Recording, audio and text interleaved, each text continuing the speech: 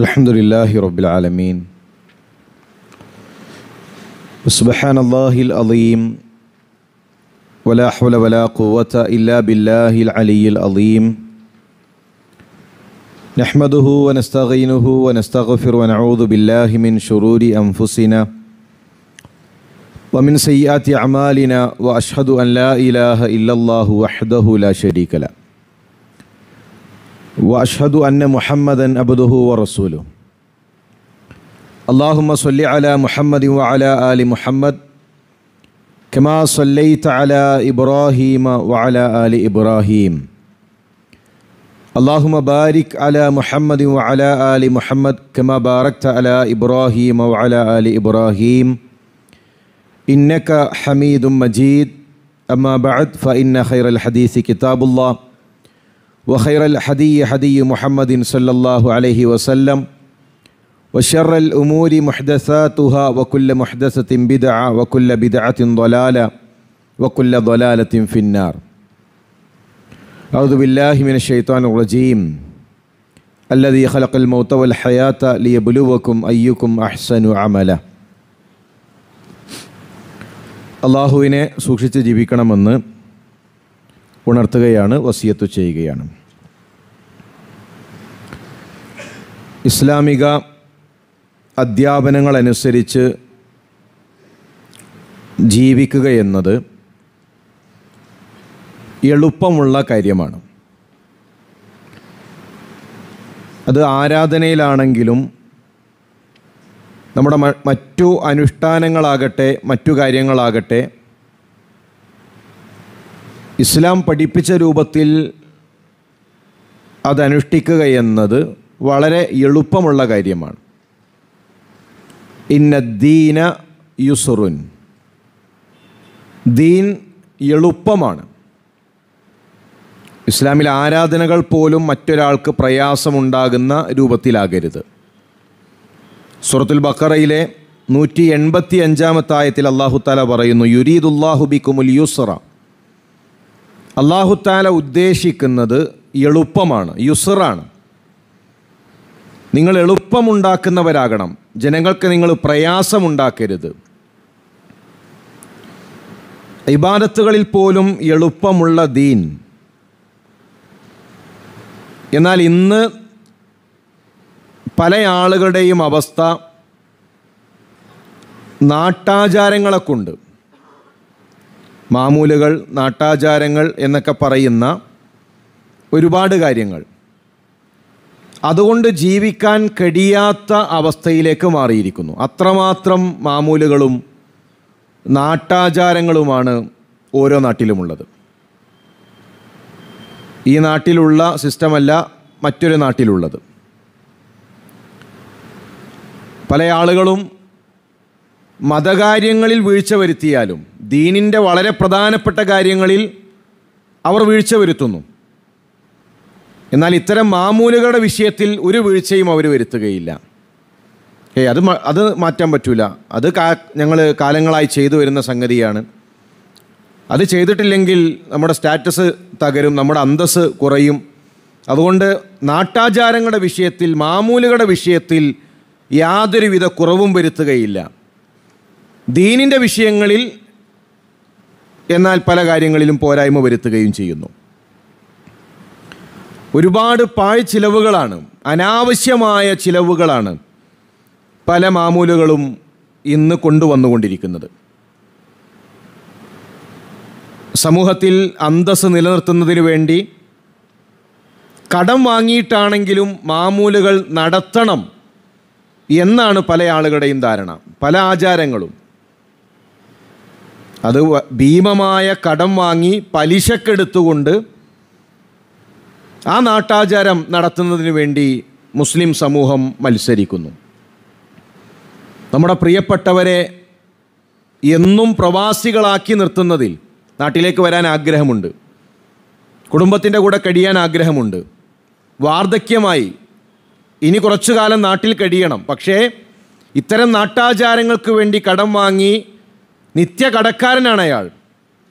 പ്രവാസ ലോകത്ത് നിന്ന് നാട്ടിലേക്കെത്താൻ സാധിക്കാത്ത വിധത്തിൽ പലരെയും മാമൂലുകൾ വിദേശ രാജ്യങ്ങളിൽ കെട്ടിയിട്ടിട്ടുണ്ട്.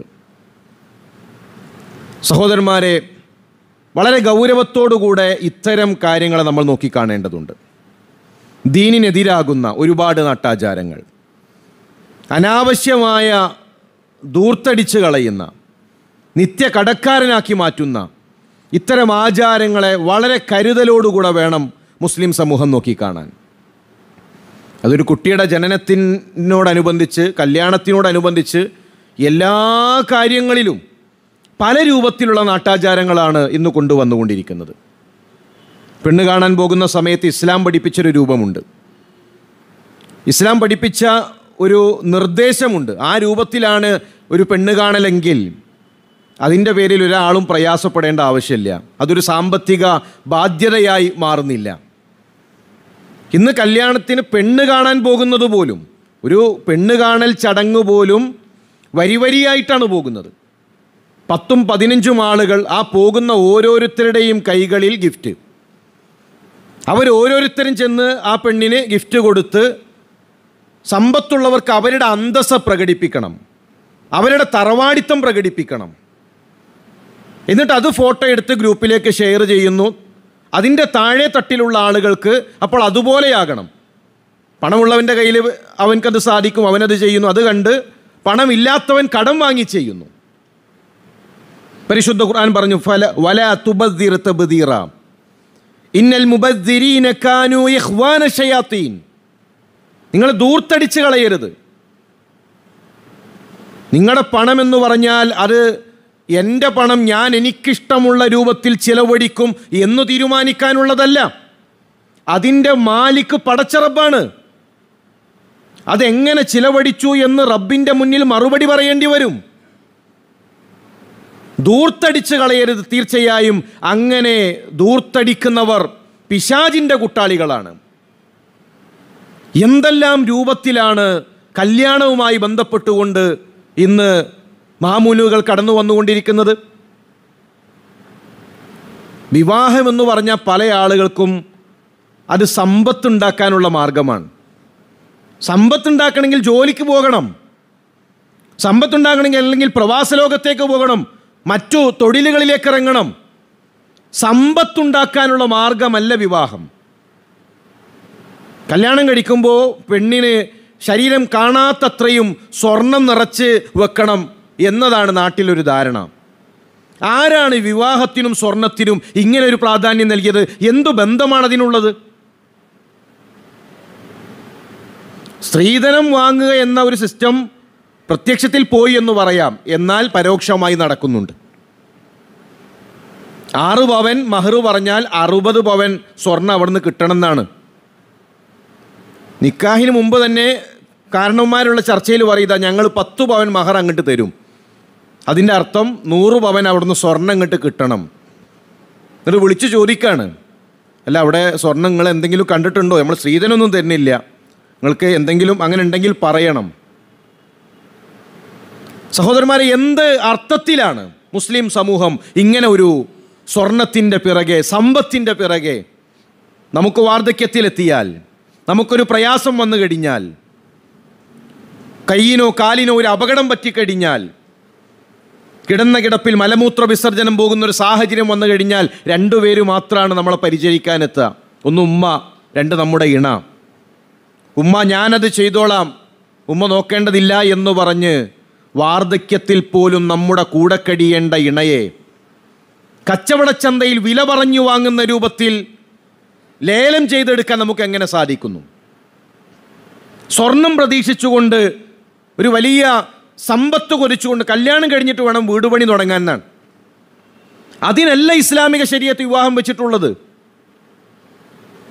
സ്വർണത്തിന് വേണ്ടി വിവാഹം നടത്തുന്ന അതിനുവേണ്ടി പിന്നെ ചർച്ച ചെയ്യാനിരിക്കുന്ന സാഹചര്യങ്ങൾ. എന്നിട്ട് കല്യാണം ഉറപ്പിച്ചു കഴിഞ്ഞാൽ അയൽവാസികൾ വരാൻ അല്ല നിങ്ങൾ എത്ര സ്വർണം കൊടുക്കുന്നത്? ആ സ്വർണം കാണാൻ അയൽവാസികൾ വീട്ടിലേക്ക് എത്താൻ. ഇതൊന്നും പോരട്ടോ. നിങ്ങളെ മക്കളൊക്കെ ഗൾഫിലാണ്. മക്കൾ ഗവൺമെന്റ് ഉദ്യോഗസ്ഥരാണ് അപ്പോൾ ഈ സ്വർണമൊന്നും പോരാ. എന്നിട്ട് കുറച്ചുകൂടെ അങ്ങോട്ട് കൂട്ടിപ്പറഞ്ഞ്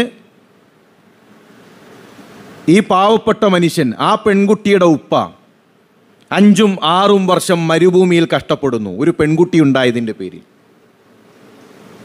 പെൺമക്കൾ ഉണ്ടായതിന്റെ പേരിൽ മരുഭൂമിയിൽ കഷ്ടപ്പെടുന്ന ഉപ്പമാർ ആരാണ് ഈ സിസ്റ്റം ഉണ്ടാക്കി വെച്ചത്? ഇത്രയും ഭീമമായ സംഖ്യ കഷ്ടപ്പെട്ടുണ്ടാക്കി ഇത്രയും ഭീമമായ സ്വർണങ്ങൾ ഉണ്ടായാലേ ഒരു പെൺകുട്ടിയെ കല്യാണം കഴിപ്പിച്ച് അയക്കാൻ പാടുള്ളൂ എന്ന സിസ്റ്റം എങ്ങനെ ഉണ്ടായി നമ്മുടെ നാട്ടിൽ?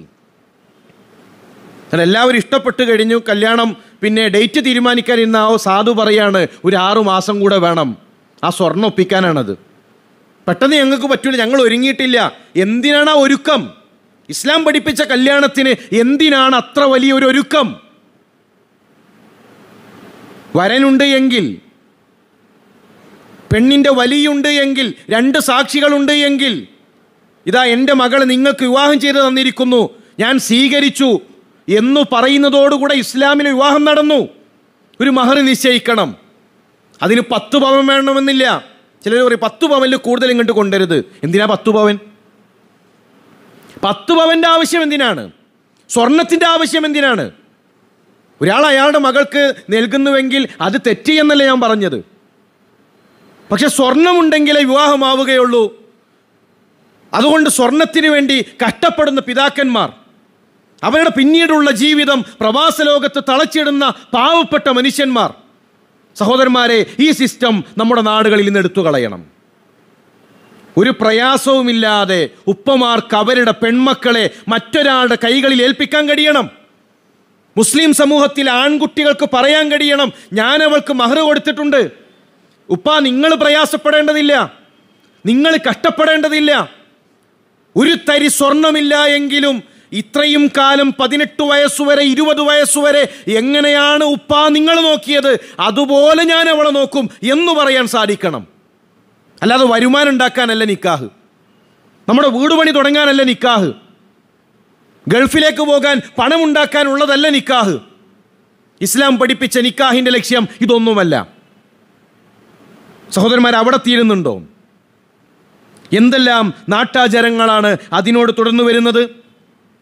കല്യാണം നടത്തിയതിന്റെ പേരിൽ ഈ നാട്ടാചാരങ്ങളുടെ പിറകെ നടന്നതിന്റെ പേരിൽ അഞ്ചും പത്തും വർഷം പ്രവാസ ലോകത്ത് കഴിയേണ്ടി വന്ന പാവപ്പെട്ട മനുഷ്യന്മാരുണ്ട്. അതിനൊക്കെ കാരണം ഈ സ്വർണം കാണാൻ പോകുന്നവരും കല്യാണം കഴിഞ്ഞതിന് ശേഷം പെണ്ണിന്റെ സ്വർണം കാണാൻ വരുന്നവരും. എന്നിട്ട് അവിടെ ഒരു കമന്റ് സ്വർണം കുറഞ്ഞുപോയി. അതോടുകൂടെ പ്രശ്നങ്ങൾ തുടങ്ങാൻ പ്രശ്നങ്ങൾ ഇങ്ങനെ തുടങ്ങിക്കൊടുക്കാണ് കുടുംബജീവിതത്തിൽ. ഇത്ര സ്വർണമുള്ളൂ ആകെ പത്ത് പവൻ തന്നിട്ടുള്ളൂ. ഇത്തരത്തിലുള്ള ആചാരങ്ങളെ വളരെ ഗൗരവത്തോടുകൂടെ നാം നോക്കിക്കാണേണ്ടതുണ്ട്. അതുകൊണ്ട് പ്രിയമുള്ളവരെ ഒരുപാട് കുടുംബങ്ങൾ ഇത്തരം മാമൂലുകൾ കൊണ്ട് കണ്ണുനീര് കുടിക്കുന്നുണ്ട്. വിവാഹത്തിന്റെ ദിവസത്തിലുള്ള ചെലവ് മാന്യമായ രൂപത്തിൽ ഭക്ഷണം നൽകാം. നമ്മുടെ സാമ്പത്തികമായ കഴിവിനനുസരിച്ചുകൊണ്ട് ഒരാൾക്ക് അതിനുള്ള കഴിവില്ല എങ്കിൽ വിശാലമായ നല്ല ഒരു ഭക്ഷണ സൗകര്യം ഒരുക്കാനുള്ള കഴിവില്ല എങ്കിൽ എന്തിനാണ് അവർ കടം വാങ്ങി പലിശക്കെടുത്ത് പ്രയാസപ്പെടുന്നത് എന്തിനു വേണ്ടിയിട്ടാണ്? കല്യാണത്തിന്റെ ദിവസത്തിൽ എല്ലാ മാമൂലുകളും നോക്കും. എന്നാൽ ദീനു പറഞ്ഞൊരു കാര്യം ഒന്നും നോക്കൂല. ആണും പെണ്ണും ഇട ഇടകലരുത് എന്ന ഇസ്ലാമിന്റെ അധ്യാപനങ്ങൾക്ക് അന്ന് പുല്ലുവിലയാണ്. ഫോട്ടോഗ്രാഫർ ഉണ്ടാവും സ്ത്രീകളുടെ ഭാഗത്തുകൂടെ അതിനിടയിലൂടെ ഇങ്ങനെ പോയി ഓരോരുത്തരെയും ഫോട്ടോ എടുക്കുന്നുണ്ടാകും. ഒരു പ്രശ്നമില്ല കല്യാണല്ലേ? പുതിയാപ്പിളയും പുതിയണ്ണും സ്റ്റേജിലേക്ക് കയറി നാട്ടിലുള്ള എല്ലാവരും വന്ന് കൂടെ നിന്ന് ഗ്രൂപ്പ് ഫോട്ടോ എടുക്കലാണ്. നിക്കാഹ് കഴിഞ്ഞു. പിന്നെ അവിടെ ദീനിന് പ്രസക്തിയില്ല. ദീനനുസരിച്ച് അവരെ കല്യാണം കഴിഞ്ഞു. പിന്നെ ഹുത്തുവ പറഞ്ഞ ആൾ പോയി കഴിഞ്ഞാൽ പിന്നെ സ്റ്റേജിൽ നാട്ടിലുള്ള എല്ലാവരും കയറി വരുന്നു. ഇവരുടെ കൂടെ നിന്ന് ഫോട്ടോ എടുക്കുന്നു. അത് സകല വാട്സപ്പ് ഗ്രൂപ്പുകളിലേക്കും പോകുന്നു. കല്യാണത്തിന് മുമ്പ് കല്യാ ജീവിതം തുടങ്ങുന്നതിന് മുമ്പ് തന്നെ അവന്റെ സ്വകാര്യത അത് എല്ലാ വാട്സപ്പ് ഗ്രൂപ്പുകളിലേക്കും എത്തുകയാണ്. അതൊന്നൊരു പ്രശ്നമല്ല. അവിടെ മ്യൂസിക് ഉണ്ട്. അവിടെ നൃത്തങ്ങളുണ്ട്. അവിടെ എല്ലാ തോന്നിവാസങ്ങളുമുണ്ട്. കല്യാണത്തിന്റെ അന്ന് എല്ലാം ആകാമെന്നാണ് അന്ന് ഇസ്ലാമിക വേഷം വേണ്ട കല്യാണമല്ലേ സഹോദരന്മാരെ ഇത് നാം വളരെ ഗൗരവത്തോടു കൂടെ ശ്രദ്ധിക്കണം. കുട്ടി ഉണ്ടായിക്കഴിഞ്ഞാൽ കുട്ടി ഉണ്ടായാൽ ഇസ്ലാം പറഞ്ഞ കാര്യങ്ങളുണ്ട് ആ കീക്ക് ഇറക്കണം. കഴിയുന്നവർ ഏഴിന്റെ അന്ന് ചെയ്താൽ മതി. സാമ്പത്തികമായി ഒരാൾക്ക് കഴിയുന്നില്ല അവൻ എപ്പോഴാണ് കഴിയുന്നത്? അപ്പോൾ ചെയ്താൽ മതി അതാണ് ദീൻ. കടമെടുത്ത് അക്കീക്ക ഏഴിന്റെ അന്ന് നടത്താൻ വേണ്ടി മാത്രം പലിശക്കെടുത്ത സഹോദരനെ എനിക്കറിയാം.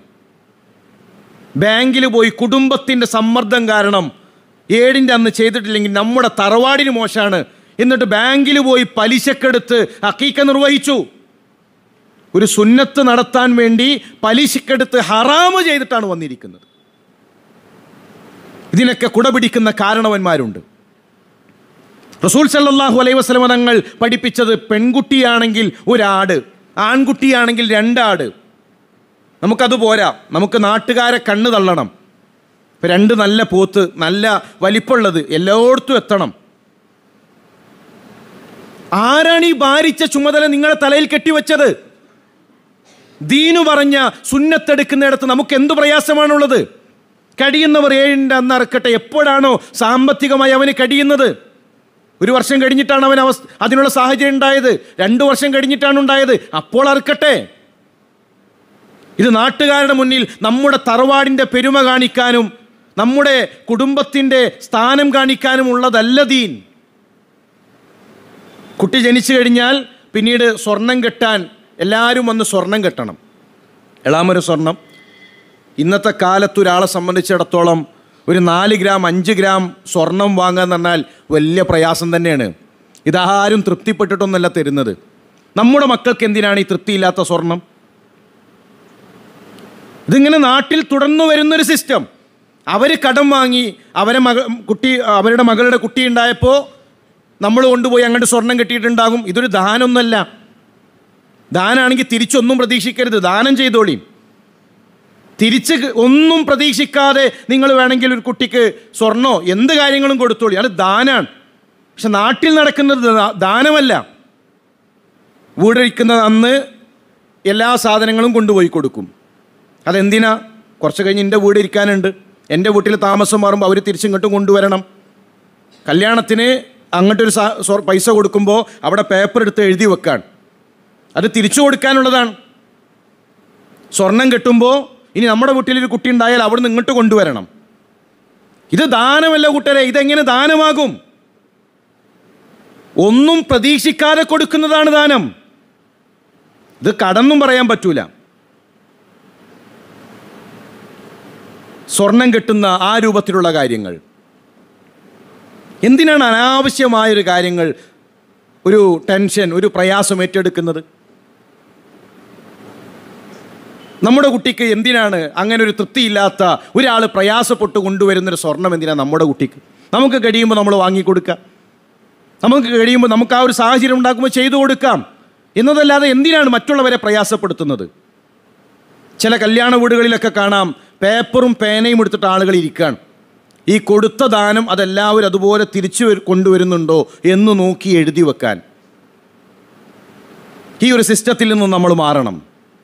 ഇത്തരം മാമൂലുകളിൽ നിന്നും നമ്മൾ മാറണം. ഇസ്ലാം പഠിപ്പിച്ച ഒരു സംസ്കാരത്തിലേക്ക് നമ്മൾ വരണം. ഒരു പെണ്ണ് ഗർഭിണിയായി കഴിഞ്ഞാൽ പള്ള കാണാൻ പോകുന്ന സംവിധാനം. നമ്മൾ ആലോചിക്കേണ്ടത് എവിടെയാണ് ഈ ഉമ്മത്തെത്തി നിൽക്കുന്നത്? എന്നിട്ട് അതിന്റെ പേരിൽ പ്രശ്നം. പിന്നെ ഇത്ര സോപ്പ് ഇത്ര പഴക്കുല. എന്നിട്ട് അത് കൊണ്ടുവന്നിട്ടില്ലെങ്കിൽ നിന്റെ വീട്ടിൽ നിന്ന് ഇതുവരെ എന്താ ആരും വന്നിട്ടില്ലല്ലോ? ഇന്ന സാധനം കൊണ്ടുവന്നിട്ടില്ലല്ലോ? ഞങ്ങളുടെ നാട്ടിലൊക്കെ എങ്ങനെയാണ്? ഒരാൾ ഒരു നമ്മുടെ വീട്ടിലേക്ക് വരുമ്പോൾ എന്തെങ്കിലും കൊണ്ടുവന്നാൽ അത് വേറെ. മറിച്ച് ഇതൊരു ആചാരമായി അത് ചെയ്യാത്തതൊരു കുറച്ചിലായി ആളുകൾക്കതൊരു ഭാരമായി മാറ്റിയിരിക്കുന്നു. എത്ര ഭീമമായ സംഖ്യയാണ് ഓരോ നാട്ടാചാരങ്ങൾക്കും ചിലവഴിക്കേണ്ടി വരുന്നത്. ഇന്നും ഓരോ സാധാരണക്കാരന്റെയും സാമ്പത്തിക അവസ്ഥ വളരെ പ്രയാസത്തിലാണ്. നാട്ടിലെ ഓരോ ചെറിയ ആചാരങ്ങൾക്കും അവന്റെ സാലറിയുടെ അവന്റെ ശമ്പളത്തിന്റെ പകുതി ചിലവഴിച്ചാൽ പോലും തികയാത്ത അവസ്ഥയാണുള്ളത്.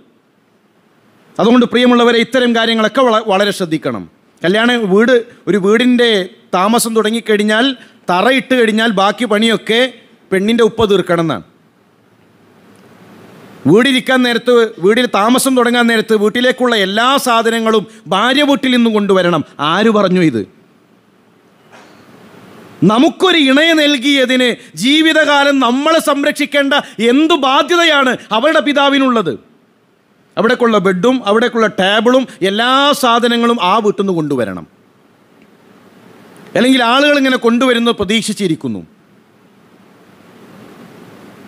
അവരെ വീട് താമസത്തിന്റെ സമയത്ത് നമ്മൾ അതുപോലെ അവർ തന്നത് തിരിച്ചു കൊണ്ടുപോയി കൊടുക്കുന്നു.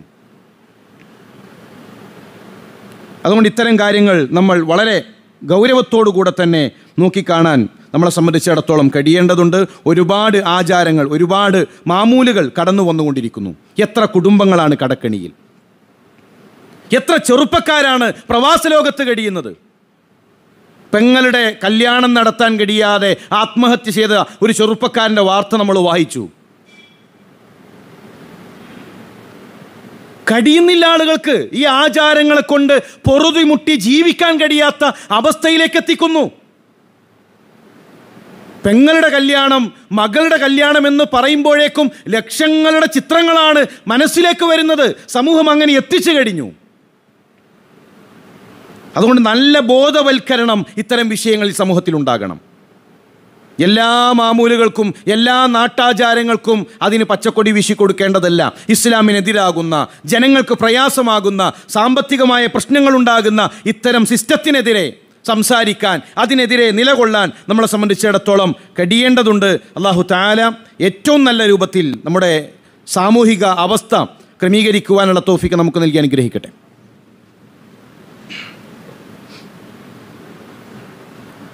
അലഹമുല്ല അലഹമുല്ലാഹി റബ്ബിൽ ആലമീൻ. വസ്സലാത്തു വസ്സലാമു അല റസൂലില്ല. വ അല ആലിഹി വസഹബിഹി അജ്മഈൻ അമ്മാബാദ് അള്ളാഹുവിനെ സൂക്ഷിച്ച് ജീവിക്കണമെന്ന് ഉണർത്തുകയാണ് വസിയത്ത് ചെയ്യുകയാണ്. ഇപ്പോൾ കണ്ടുകൊണ്ടിരിക്കുന്ന ഒരവസ്ഥയാണ് എല്ലാ കാര്യങ്ങളും ആഘോഷിക്കുക. എല്ലാത്തിനും ആഘോഷം. ഒരു പെൺകുട്ടിക്ക് പ്രായപൂർത്തിയായാൽ അത് ആഘോഷിക്കുന്നു. അത് കുടുംബത്തെ വിളിച്ചറിയിച്ച് മറച്ചു വെക്കേണ്ട ഒരു കാര്യം. അത് നാട്ടുകാരെ മുഴുവൻ അറിയിച്ച് അതൊരു ആഘോഷമാക്കിയിട്ടുണ്ട്. ഹിത്താൻ ചേലാകർമ്മം ചെയ്തു കഴിഞ്ഞാൽ ഒരു കുട്ടിയുടെ ചേലാകർമ്മം ചെയ്തു കഴിഞ്ഞാൽ കാസർഗോഡ് ഭാഗത്ത് അതിന്റെ വാർഷികം നടത്തുന്നത് കണ്ടു. കല്യാണത്തിന്റെ വാർഷികമല്ല. ഹിത്താൻ ചെയ്തതിന്റെ വാർഷികം ചേലാകർമ്മം ചെയ്തതിന്റെ വാർഷികം. ആഘോഷിക്കാൻ കാരണങ്ങൾ തേടി നടക്കാൻ. ജന്മദിനാഘോഷം. കുടുംബത്തിൽ നല്ല സാമ്പത്തികമായി കഴിയുന്ന ആളുകൾ അവർ ബർത്ത്ഡേ ആഘോഷിച്ച് അതിന്റെ ഫോട്ടോ ഫാമിലി ഗ്രൂപ്പിലേക്ക് ഷെയർ ചെയ്യും. അത് കണ്ട് അതിന്റെ താഴെ തട്ടിലുള്ളവർക്ക് അതുപോലെ എത്തണം. കാരണം ഞങ്ങളും കുറവല്ല ഞങ്ങളും മോശമല്ല ഞങ്ങളും ഇതുപോലെ ആഘോഷിക്കുന്നവരാണ്. ഇതിന്റെയൊക്കെ പിന്നിലൊരു കച്ചവട തന്ത്രമുണ്ട് ഇതിന്റെയൊക്കെ പിന്നിൽ നമ്മുടെ ദീനിനെ തന്നെ പൊളിച്ചു കളയുന്ന വിശ്വാസങ്ങളുണ്ട്. പ്രവാചകൻ സല്ലാഹു തങ്ങൾ എന്തു പ്രാധാന്യമാണ് ജന്മദിനാഘോഷത്തിന് പഠിപ്പിച്ചിട്ടുള്ളത്? ജന്മദിനത്തിന് പഠിപ്പിച്ചിട്ടുള്ളത്? ലക്കത് കാന ലക്കും ഫി റസൂലില്ലാഹി ഉസ്വത്തുൻ ഹസന. ഏറ്റവും നല്ല മാതൃകയുണ്ട് അള്ളാഹുവിന്റെ റസൂൽ സല്ലാഹു അലൈഹി വസല്ലം തങ്ങളിൽ. ഏത് പ്രവാചകന്റെ ജന്മദിനമാണ്? ദ ഇന്ന ദിവസത്തിലാണ് ഇന്ന നബി ജനിച്ചത്. അള്ളാഹുവിന്റെ റസൂൽ അലൈഹി വസല്ലം പഠിപ്പിച്ചത്. പ്രവാചകന് മക്കളില്ലേ? റസൂലുള്ളാഹി സല്ലല്ലാഹു അലൈഹി വസല്ലമ തങ്ങൾക്ക് മൂന്ന് ആൺമക്കളുണ്ട് നാല് പെൺകുട്ടികളുണ്ട്. അതിൽ ആരുടെ ജന്മദിനമാണ് റസൂലുള്ളാഹി സല്ലല്ലാഹു അലൈഹി വസല്ലമ തങ്ങൾ ആഘോഷിച്ചത്? മക്കളോട് സ്നേഹമില്ലേ? നമ്മളെക്കാളൊക്കെ എത്രയോ മക്കളെ സ്നേഹിച്ച റസൂലുള്ളാഹി സല്ലല്ലാഹു അലൈഹി വസല്ലം അങ്ങനെ ഒരു ആചാരം നമുക്ക് കാണിച്ചു തന്നു. ഇത് ഇന്ന് സ്നേഹത്തിന്റെ ഭാഗമല്ല. മക്കളോട് സ്നേഹമുണ്ടെങ്കിൽ മക്കൾക്ക് തെർബിയത്ത് കൊടുക്കൂ അവർക്ക് വിദ്യാഭ്യാസം കൊടുക്കൂ സാംസ്കാരികമായി അവരെ വളർത്തൂ അവർക്ക് ഭൗതികമായ മറ്റു സൗകര്യങ്ങൾ ചെയ്തു കൊടുക്കൂ. ജന്മദിനാഘോഷം എന്ന സംവിധാനം അത് കടന്നു വരുന്നത് ഫറോവമാരുടെ കാലഘട്ടത്തിലാണ് അത് തുടങ്ങിയതെന്ന് നമുക്ക് കാണാൻ കഴിയും.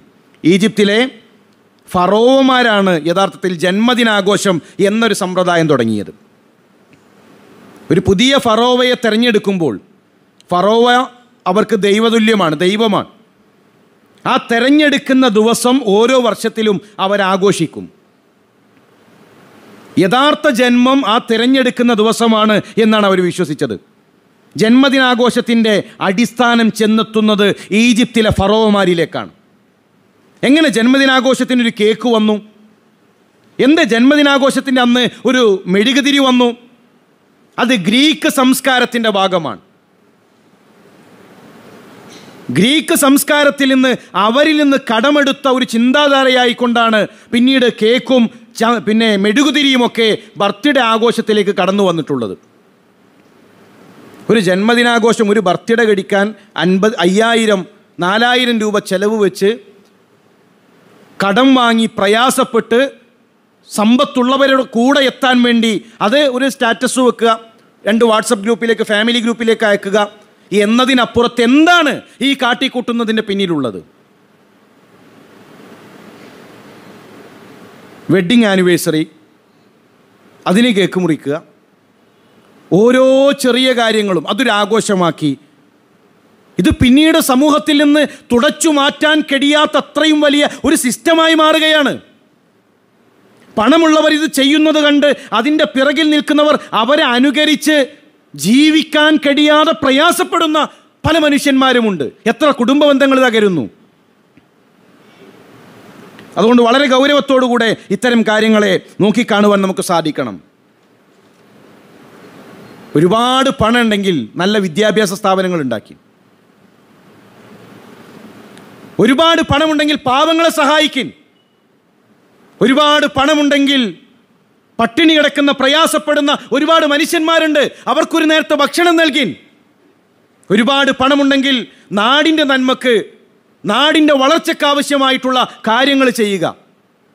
അല്ലാതെ എന്തെങ്കിലുമൊക്കെ ഒന്ന് കിട്ടിയിട്ട് ഒരു പത്തായിരം രൂപ കൊണ്ട് പൊടിക്കാം ഒരു ഇരുപതിനായിരം രൂപ കൊണ്ട് പൊടിക്കാം. നമ്മുടെ കുടുംബത്തിന്റെ മഹത്വം കുടുംബ തറവാടിന്റെ മഹത്വം അത് നാലാൾ അറിയട്ടെ എന്നതല്ല ആലോചിക്കേണ്ടത്. യാ അയ്യുഹല്ലദീന ആമനു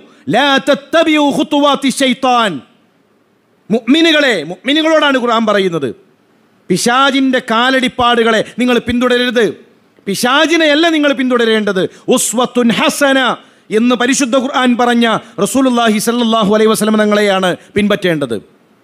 അതുകൊണ്ട് നമ്മൾ മനസ്സിലാക്കേണ്ടത് മാമൂലുകളൊക്കെ ചെയ്യുമ്പോൾ നല്ലതല്ലേ എന്നാണ് കരുതുന്നത്. നീയത്തിനാണ് കൂലി. നീയത്തിനാണ് കൂലി.